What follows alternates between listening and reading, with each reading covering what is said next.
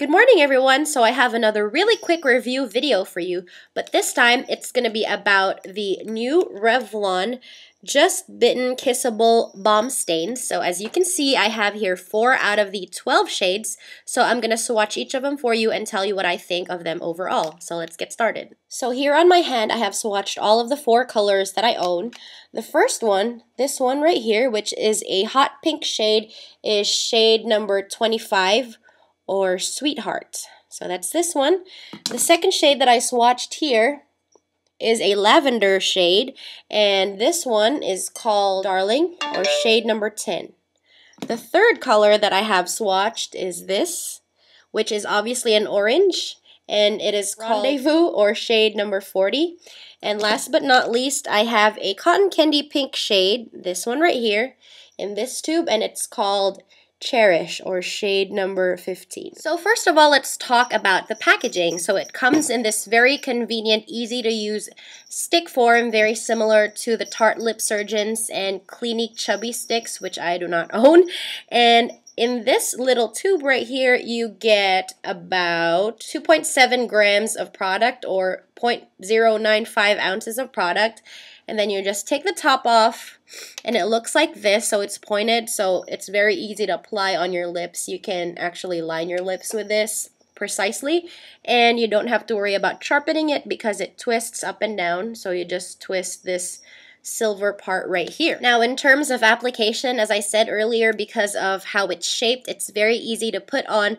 The only thing is that it doesn't glide on very smoothly on your lips. It kind of feels very solid, very hard, very dry, but the color does come off on your lips when you apply it. You just have to put like two to three coats or layers of it but I can't really say much about the color payoff and the pigmentation because I only own four of the shades and most of the shades that I own are more on the light side and I guess the most pigmented one that I own is this hot pink one called Sweetheart. So it's the darkest shade that I own.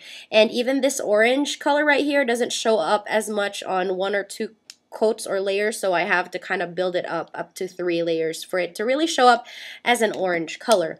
And in terms of longevity I actually have it on right now. I've worn this balm stain. I have the shade Cherish the cotton candy pink one and I've had it on for about five hours now.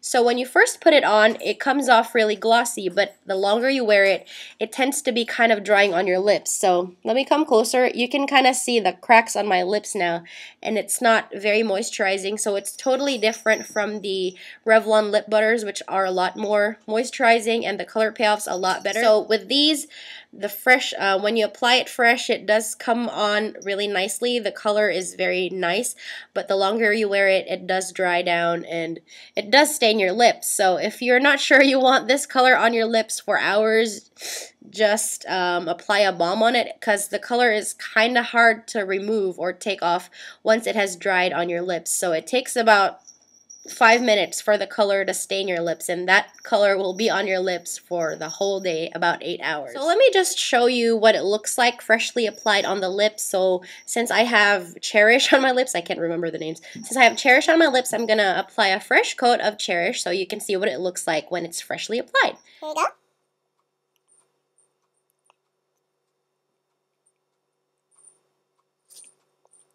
So that's about two to three coats of Cherish. And as you can see, it is quite pigmented. The cotton candy pink color is there on my lips, but like I said earlier, the longer you wear it, it will be drying on your lips and it will stain your lips and your natural lip color will tend to show up more the longer you wear it or throughout the day, as you have seen earlier in the video before I reapplied. So it is really pretty, right? Oh, and before I forget to mention, these balm stains do have a minty smell, minty taste, minty feel to the lips. So if you're a big fan of mint, then you will definitely enjoy this balm stain. And I am a big fan of mint, so I really like the taste, the smell, and how it feels on my lips. It's not very tingly. It doesn't give you that plumping, tingly sensation, but it does have that minty feel. You know what I'm saying? Here's Coco. She's playing with Pepper. Pepper's chasing her, so I just wanted to save her from Pepper. Hey, everybody. I'm a sweet little Coco Pudding. see, look at her new color. I don't know if you can see it. It's baby pink, and it has cupcakes on it. And she has a fish tag here that says Coco. Oh, look how loving this kitty is. I so. But yeah, here's the swatches again. The darkest hot pink one is called Sweetheart. The one right next to it, a lavender shade, is called Darling. The orange shade is called Rendezvous, and the cotton candy pink shade, the last swatch, and the color on my lips is called Cherish. So that was my quick review on the new Revlon Just Bitten Kissable Balm Stains. I got these from Rite Aid, and they retail there for about $8. But of course, the price will depend on the drugstore and your location. I hope this video was helpful to you guys. If you have any questions, just post a comment below.